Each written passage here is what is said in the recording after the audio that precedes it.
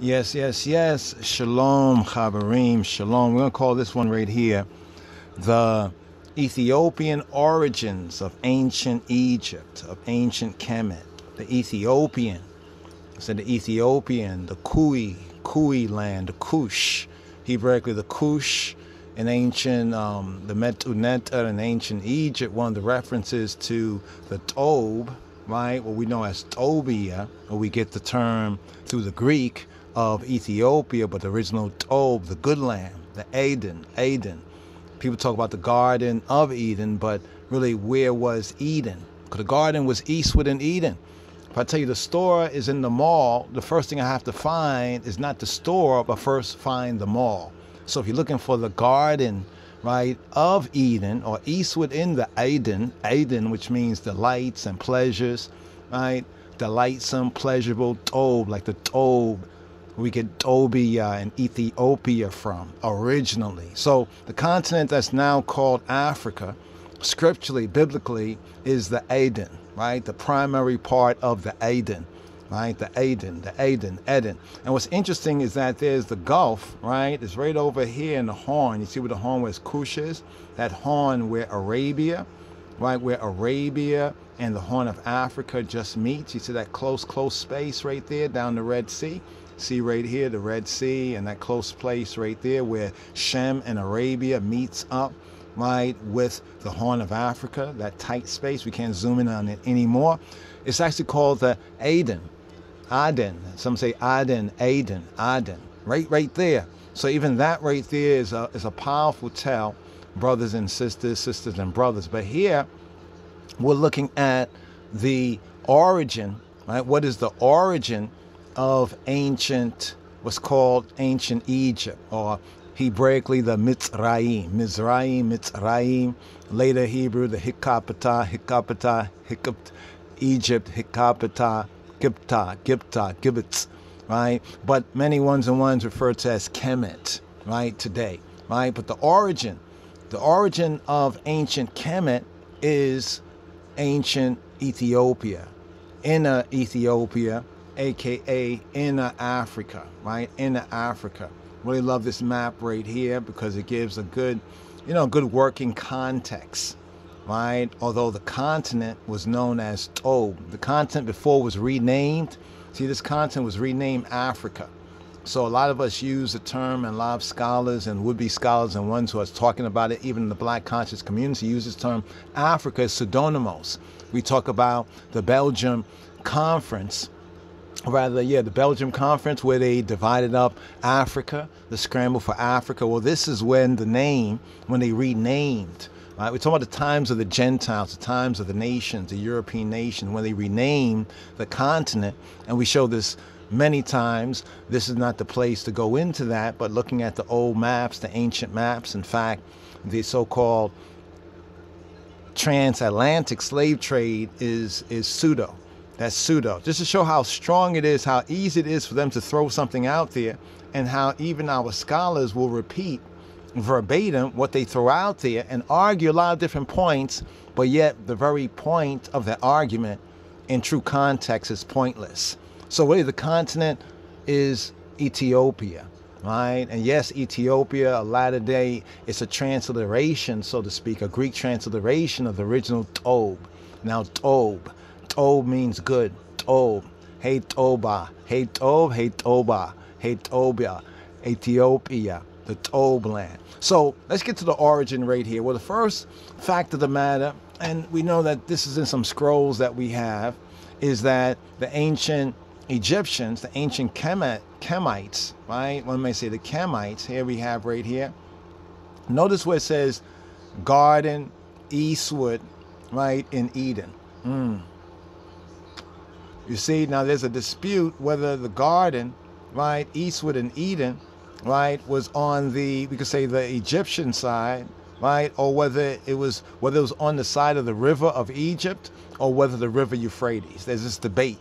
We're going to pick up on well where was based on the evidence. Scripture provides some very interesting links. It even names, you know, certain lands right, to be like the Garden of Eden, even in the Abraham, the Abraham Ha'ibri, ha, Ha'ibri, right, narrative with Abraham and Lot and Lot, where they, the shepherds, the herdsmen had disputed and there's like a separation and Abram said to Lot like you choose you know for your and your your your herdsmen your flock so that our our our our herdsmen are not disputing over grazing grazing rights and then it was said that well when he looked over to Sodom and Amora Amora actually it's Amora Amora Amora such a deep sound of awing that in transliteration they call it Gomorrah, but really it's Amorah, Sodom and Gomorrah. When he looked over there in the plains, right, it said it was well watered like the Gan Ba'aden, like the garden Ba'aden, like the garden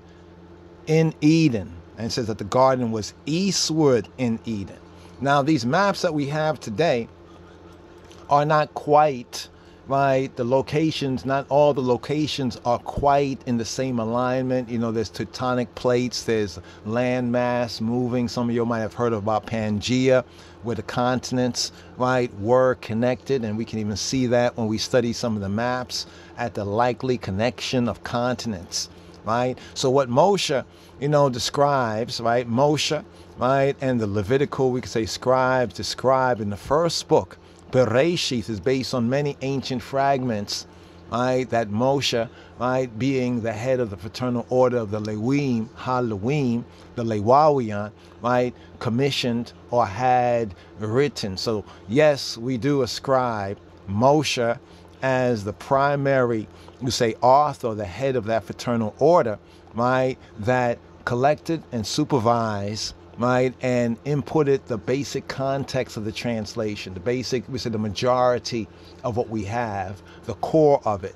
So we have like fragments, right, and books. Some might call it books or scrolls or um, what's the word? Sapa, safir, right? Um, to tell, recounting, right? Recounting of the time of Adam, right? Scrolls of Adam. There were scrolls of patriarchs. We also know of Hanok and Enoch. Now, today we have latter um, writings, right? Later writings, right? Or even re when we say rewritings, so it doesn't get twisted right here in rewritings, you have to recognize that in ancient Egypt, we can find a lot of ancient scrolls because of the nature of the land, the dryness, the preservation of certain artifacts. In certain other regions, these documents, manuscripts, and scrolls we know the tradition, the recording, the history, especially in the highland. The highland, right, is known as Tob, right, or the Tobi or the Kui land. The Egyptians call it the Kui land. And it's now when we go, remember the Nile goes from south to north. You see where we have Garden, Eastwood, and Eden. We scroll down to Mizraim, Mitzrayim. You see where we have Cush, right? And see if we follow it continually, you see right here next to the word world, right? That that area there, that's actually a river, right? And we can see even parts of the river there as we go all the way to the south, right? So this is what we mean by either we'll refer to as inner Africa or the inner Tob, right? The inner Tob for for good, right? The word Tob means good, the good land, or in the scriptural sense, the Eden, the Eden, right? The Eden, the land of delight, the land of pleasure, the land of good, the good land, Africa. And we know that Africa is a good land even for all those resources, right? Those those natural resources there, right? So the, what we call Africa today. But now when we look at the origin of ancient Kemet, right? So we started out with the map first, just to put things in context, right, to the map right? Now remember that Shem, Ham, and Japhet were all brothers, right? And therefore it is ludicrous to think that Noah or Noah, their father, right, spoke three different languages. Do you think that Noah, now I know some folks will talk about whether these were real or not real. See, it is easy to mythologicalize real people. You see what I'm saying? To mythologicalize real people right, then we could say vice versa, right? A myth becoming real, right? So ones will say that these things are myths, right? And there is the myth, but they don't understand the definition of myth. How ancient peoples, even the ancient Egyptians, you know, we see things where they have somebody with a a, a bird head. Do we really think that person was a bird head? Right? We see somebody with a dog head Do we really think they had a dog head or a snake head, a serpent head? Now, some would even maintain that perhaps there were these sort of mutations. Right now, ones will say, Well, have you found any bones? Well, we're not really grave diggers. It's other nations of people that have turned to grave digging, right, in these kind of foolish arguments, right, about ancient history, right, and ancient even mythology or spirituality, that the ancient peoples who were no fools, since we got everything we got today based on that kind of evolution, as it were, right, of ideas and thoughts and culture, so forth and so on. But let's get to the root right here, right? The root or the origin. Let's bring this out right here so we can bring up the next meme. The origin, the origin, right? The origin. Let's start out right here with, okay, we'll start out right here with Let's go to I and I, brother who has done such great, extraordinary research. And there's many scholars that know of his work, but they don't have the tools. Right? The tools. And the tools is the linguistics, is the language. And this is the shame of a lot of our black scholars, you know, or even ones in the Kemetic and other areas, that they have not really investigated the Tob, right, or Tobia, or Ethiopia in connection with what the ancient Egyptians, the ancient Egyptians said that the, their origin, they even point to the origin of their gods like the Ra, you know, they say Ra or Re, you know, from the region, right, of Tob, of the Kui land, the Kushite land. We know that it was a God send the inundation of the Nile where the topsoil from Tobia, from Ethiopia, from inner Africa, inner Ethiopia, right? The region of Kenya, Uganda, Wakanda, Tanzania, and even deeper south, where they got the the the, the Kemet from. In fact, the Kemet Kemet came literally from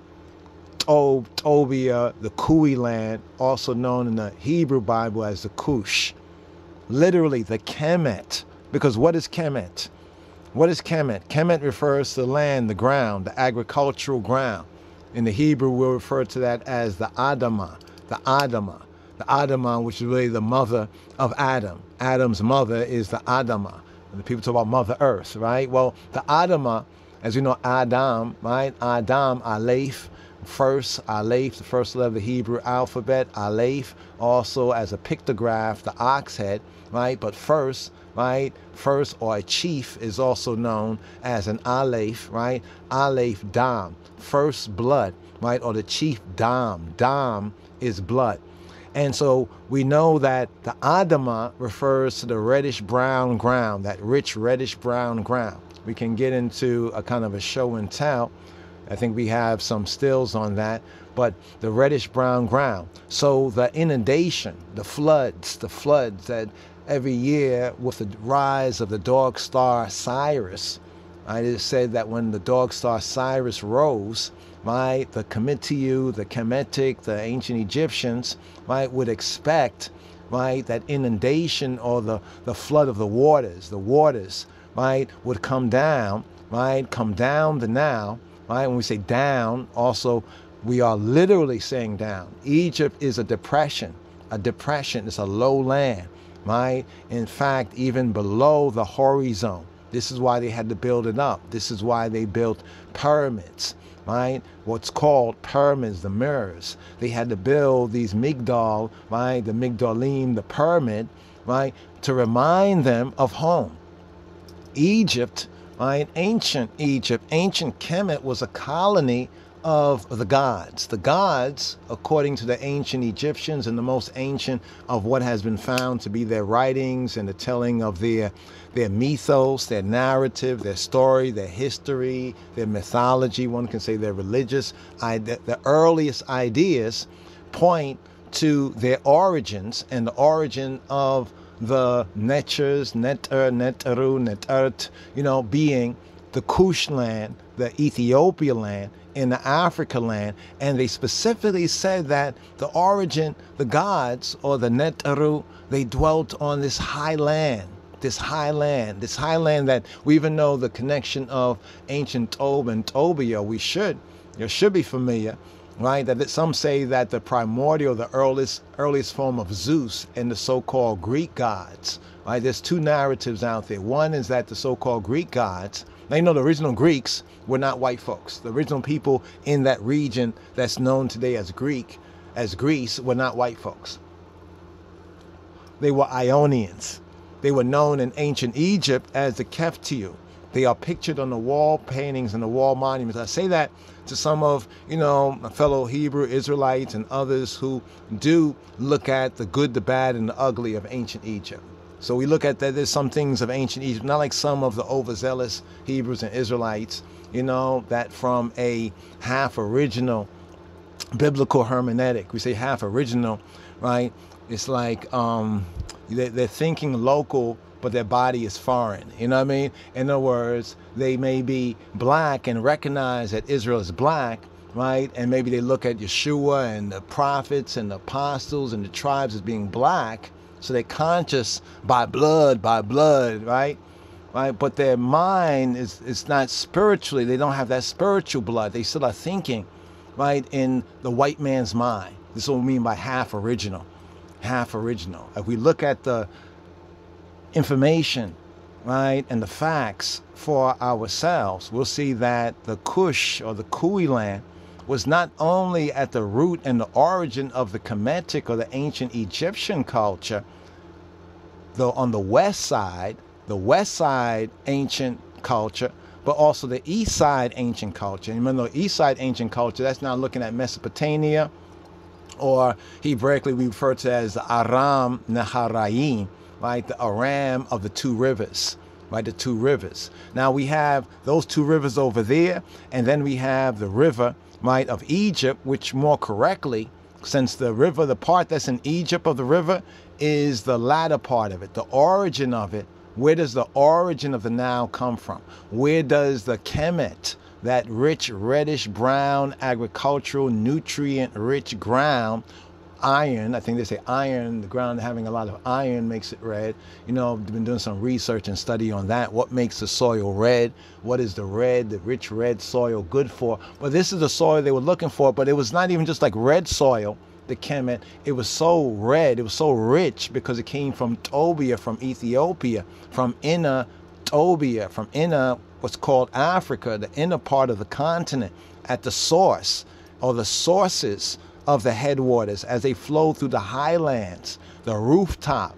You know that Ethiopia is referred to as the rooftop of Africa because of its elevation and, and the mountains, as the mountains round about the highland, right? So we get some of the primary geographical eschatological like, like spiritual like like taking the geography in connection with the mythos the spiritual narrative right? Concerning the mountains, the natural formation of mountains. And I say like the mountains round about Jerusalem, we know the psalm.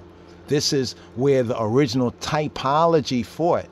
Many ones have even said that the Yah, some say that the Yah worship, right, actually also comes out of Tobia. This will point to even the the Ethiopian origin right, of the primary, we call it the Hebraic narrative, the primary Hebraic narrative. But even before the Hebraic narrative became manifest through Abraham Ha'ibri, we have the Ur of the Chaldees, we have Sumer, we have Babal, Akal, Kalna, Erech, over in the Far East, where the Iran, Iraq region today, that particular region, and Nineveh, you know, today, right? So, just to point that out right there, just want to point to the origin. But here we're just going to zoom in once again. Where did the Kemet come from? Where did the Kemet come from?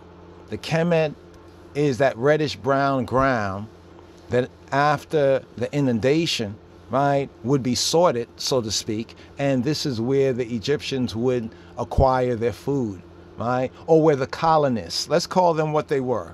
They were colonists. The earliest narratives of ancient Egypt, and we're gonna get into some of some more of the exhibits, but right here is like the overview, right? The first of all was stating that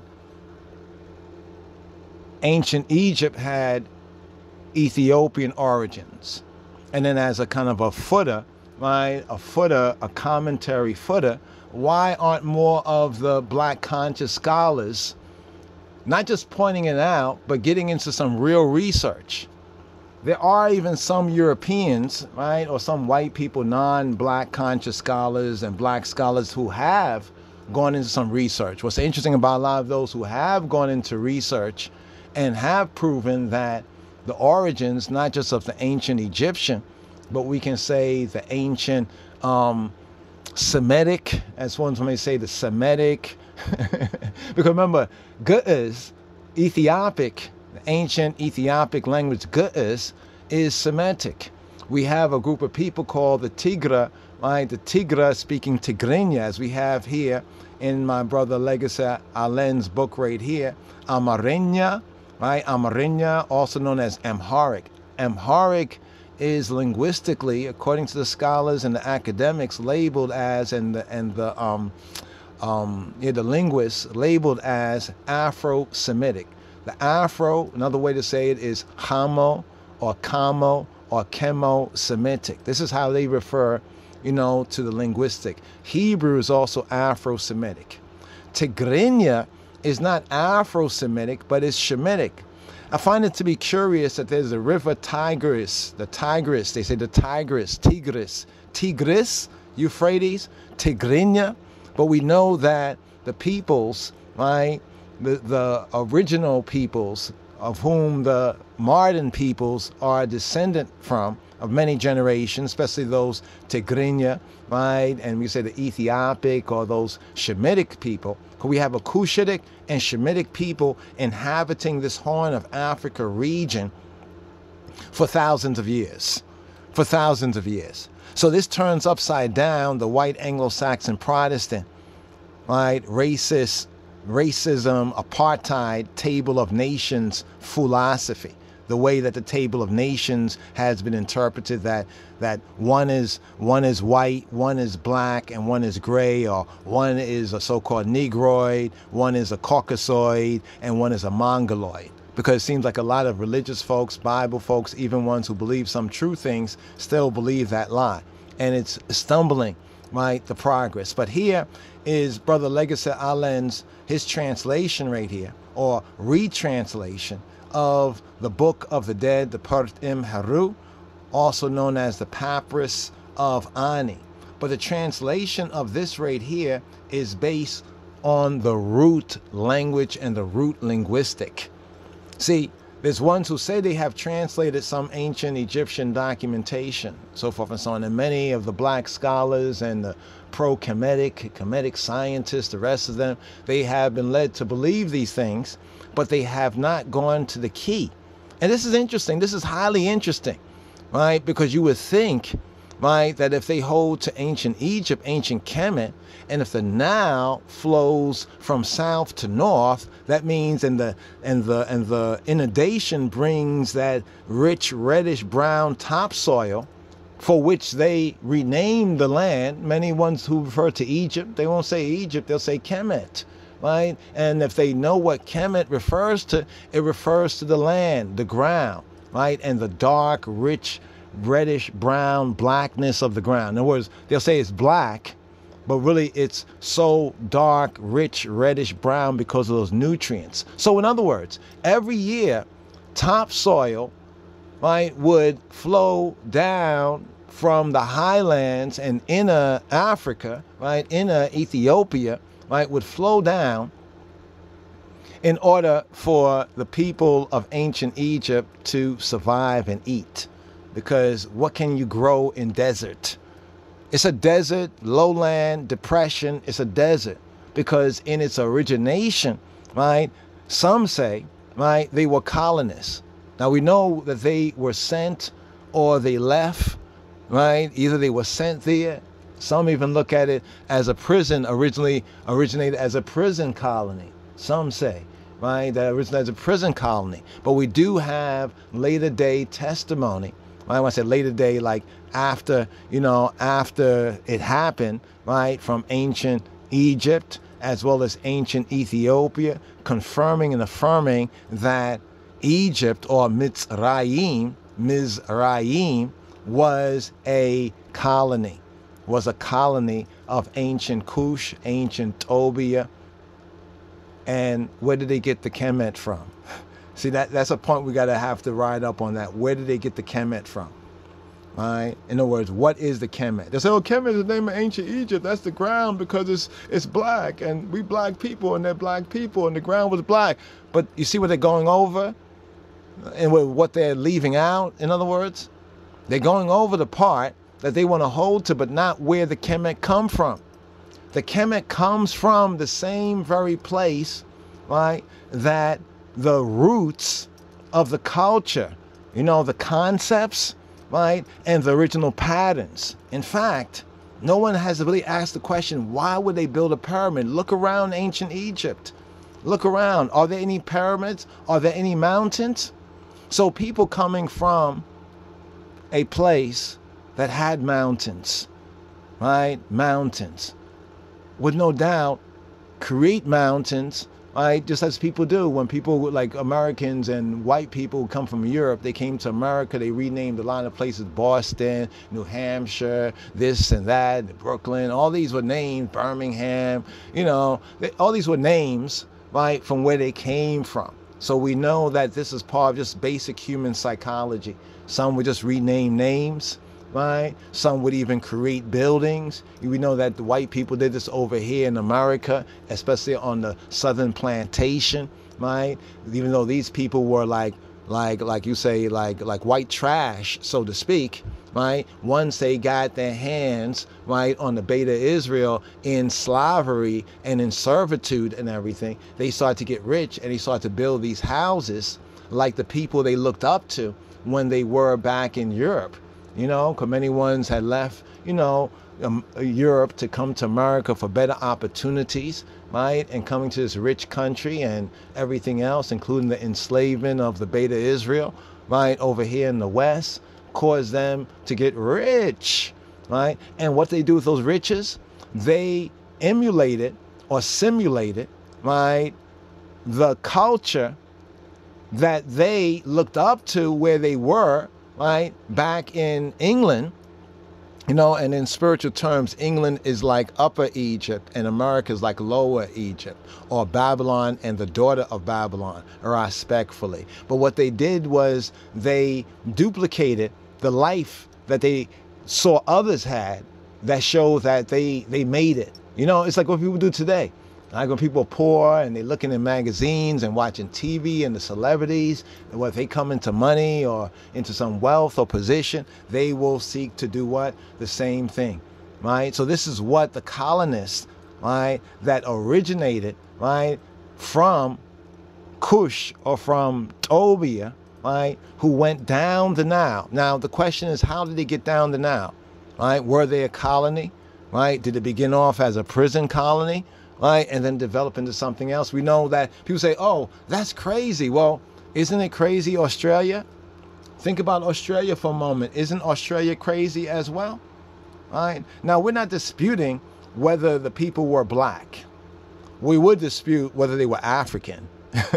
Since Africa is a terminology imposed by the Europeans when they divided up the continent into so many artificial nation states. We will dispute that since even on their maps and maps that preceded their evil doing, their evil deed of divide and conquer, even said Tobia, right? And we'll show you why, why they ran from the name Ethiopia. The white man, he had to change that name, right? Because when we start to then look at what part of the world Rome was able, how far Rome was able to go down the Nile, they were not able to get past Kush and get into the real highlands and the inner Africa. And that's because, right, of the originators. In fact, in ancient Egypt, it is said, you know, you hear they talk about Nubian pharaohs, and you know about Taharka. Taharka is there in the scripture. In the Bible, it calls him king of the Ethiopians. You study in ancient Egypt, well, you know that he basically came from the upper Egypt. Whenever lower Egypt got got into into kind of like like when England, it's like England and America. You know, back in World War II, you know, when England was doing bad, right, in a sense, their children helped out America. But in ancient, ancient Ethiopia and ancient Egypt, it was the opposite way around. Whenever the children, so to speak, messed up, right, the parent or the older culture. That's why even when you look at some of the Nubian and Kushite pharaohs and some of their artwork, some of the racist white historians will say, "Oh, these are the Kushite," because they want people to believe that the ancient Egyptians were white or were not black or quote not African. So they'll say that, "Oh, it was these Kushites." Right, or Nubians who were emulating. They were so infatuated with e- Egyptian culture that they were emulating it. And you know what? They actually did ancient Egyptian culture better than the ancient Egyptians, but they would come in whenever ancient Egypt had problems. It's almost like to reboot it, they would send more ones and ones down the Nile, right, from where the Kemet, the earth, remember food, food security. If it wasn't for Ethiopia, they would not have the concepts and the patterns, right, of their mythos, their mythology, right? They would not have food, right, if it wasn't for Tob and the inundation of the Nile. So, therefore, when we say that Ethiopian, the Ethiopian origins of ancient Egypt, of ancient Kemet, is also to provoke the black scholars, you know, to um, get off of the so called white academic titty right? You know what I mean? so you talk about Mother Africa, like Mother Ethiopia, you know, Ethiopia was mother in that sense and father to a degree, right? Mother, right, to ancient Egypt, right? But check this out right here. Amarinya and Tigrinya Kal, the papyrus, papyrus of Ani, the retranslation right? Some very good books out there because our culture has not faded over time. It's still the same. This one right here pointing out Ethiopian talking about is a video, forget the name of it right now, but it's speaking to this very same point about ancient Egyptian culture, right? And if one seek to really decipher, understand it, one have to look at Ethiopia, Tobia, and the many different. Ethiopia is not a monolith. Ethiopia is not a monolith. Ethiopia is not a monolith. That means it's not just one piece of stone. It's almost, in a sense, like a pyramid, in a sense.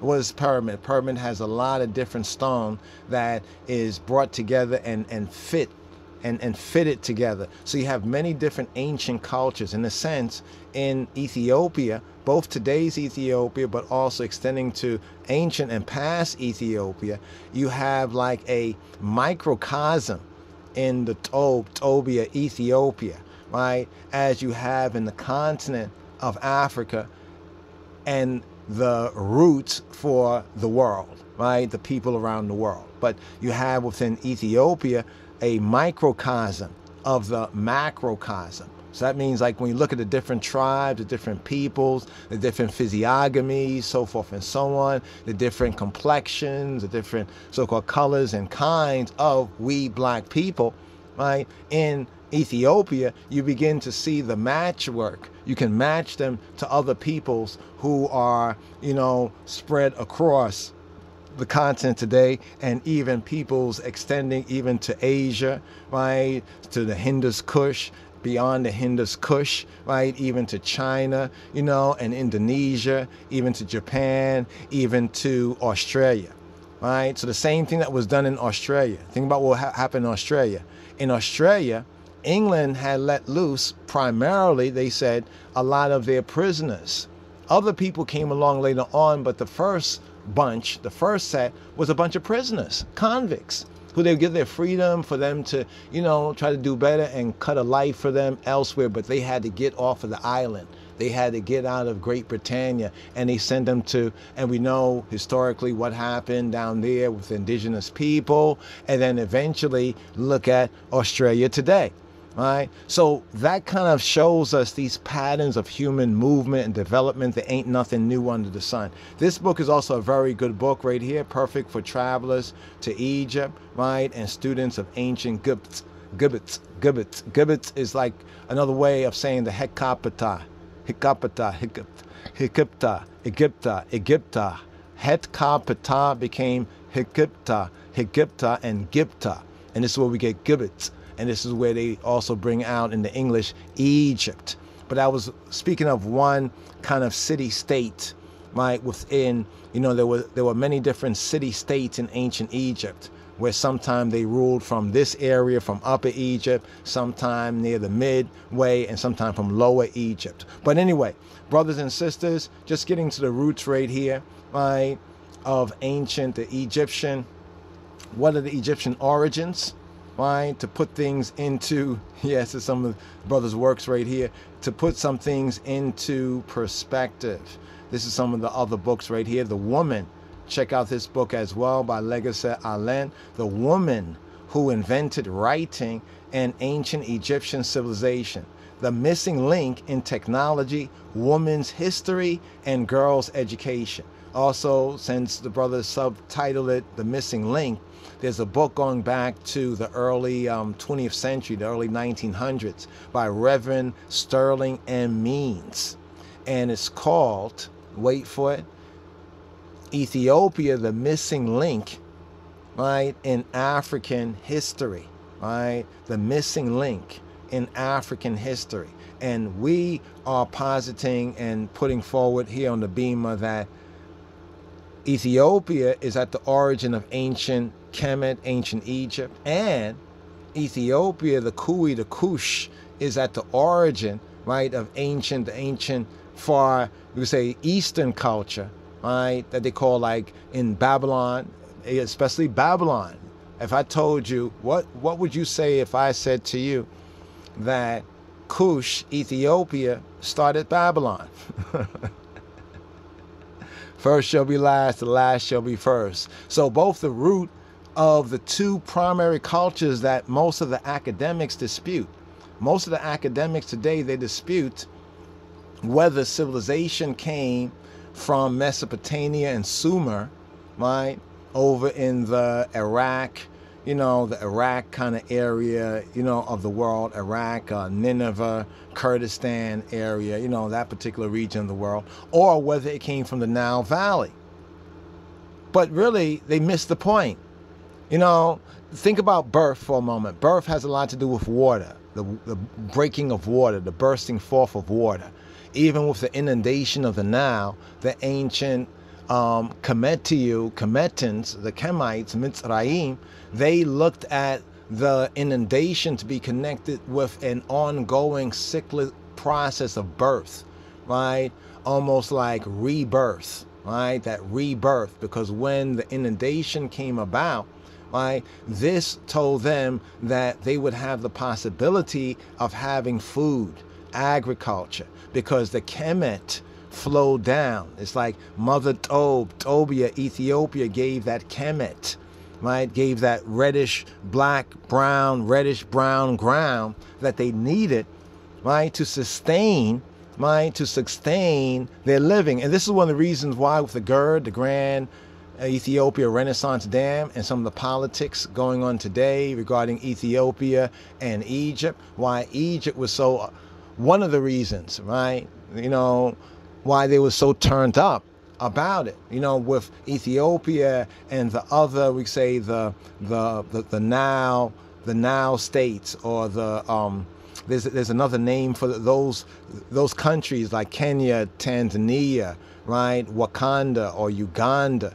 You know what I mean? Along the east that share those waters. Remember those waters, right? That we have in ancient Egypt there will be no water in ancient Egypt if the water did not flow right from Tobia. So we see a lot of points of origin. This is why we talk about where does the Kemet come from.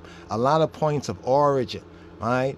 Both in things that are natural, right? And also in the people, where the people came from, where their gods came from, the ancient Egyptian gods, they point to their origin. So, therefore, since we have Ethiopia today with all the different peoples, right? The Hamitic, the Ham, the Kemetic peoples, right? Like say the Oromos, right? And also the Shemitic people like the Tigra, Tigris, Euphrates, the Tigra people, and also the Afro-Shemitic people, the Hamo-Shemitic people, the people that are a blend of those people, right? Like the Amhara and so many other peoples, right, with some dialects and linguistics that this brother right here really shows, go to show that you really can trace, you can get a true interpretation of ancient Egypt, ancient Egyptian, Ethiopian culture of ancient Egypt. Got to get this book right here. So this is this is where we present our proofs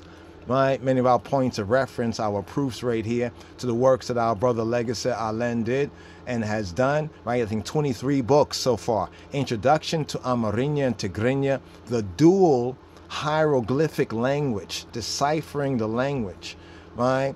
Ancient Egypt, right? The Ethiopian culture of ancient Egypt. This book right here detailing hairstyle, fashion, food, recipes, and funerals. So what he's doing is looking at the ancient Egyptian monuments and the artifacts and the evidence, right? Taking the words, the glyphs, right? Showing you what other scholars that deny and ignore the real roots of ancient Egypt, what they tell you the translation or the Medu Neter means, and then showing you the culture, even as it still exists among peoples, right, that descend from these ancient cultures, right here. So truly, ancient Egypt is like a mouthpiece of ancient Tobia, ancient Ethiopia, right? And we can say like the ancient Africa, so to speak. The Ethiopian culture of ancient Egypt, here we have food, markets, temples, and social culture, right?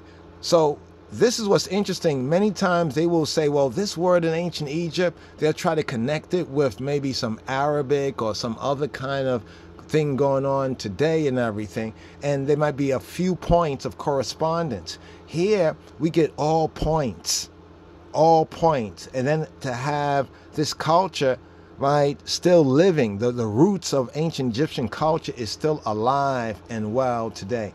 So here, here, here, just to promote the works of I and I brother right here. And the research is, is vital research because it seems like even black consciousness has been stuck, right, has been stuck because they've just been relying on the conventional translations already provided right? And most of the ones who are doing, you know, any translation, even if they can speak other languages, it's usually other European languages. Maybe they can speak French, maybe they can speak German or Spanish or something like that. But can they speak any of the, the languages that are at the roots? Can they speak a Hamitic language?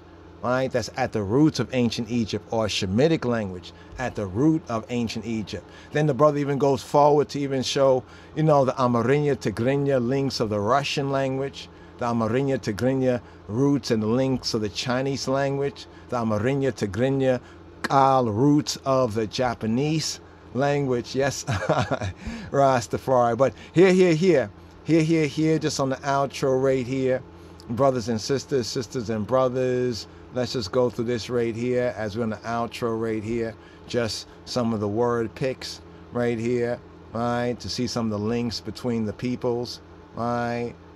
So talking about black people over here right? Because remember egypt was much like ancient tobia or ancient and even modern ethiopia that there were certain peoples that were historically ruling peoples and families right? But even they were made and composite of other people, other, we could say, root races, right? So there's many different, you could say, tribes. As there's 3,000 tribes in Africa, we get the roots of that in Ethiopia, even the Ethiopia that we can testify today and in ancient times. And this gives us an insight into ancient Egypt, right? Into ancient Egypt right? It wasn't just the ancient Egyptians and the ancient Hebrews, but there were many, many, enough, enough different other people groups, right? That all figured and featured on the table of nations as we have in the scripture. Just to show the comparison right here between the ancient,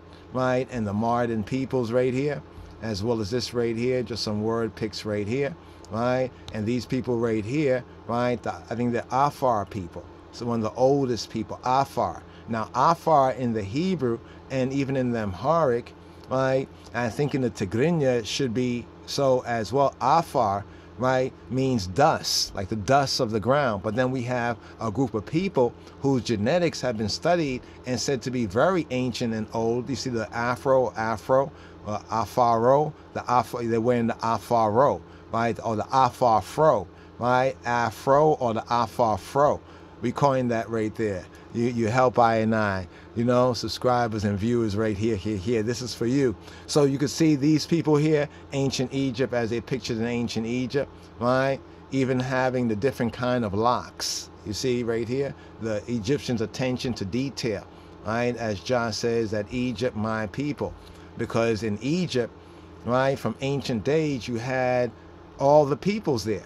All the peoples made their mark, so to speak, right?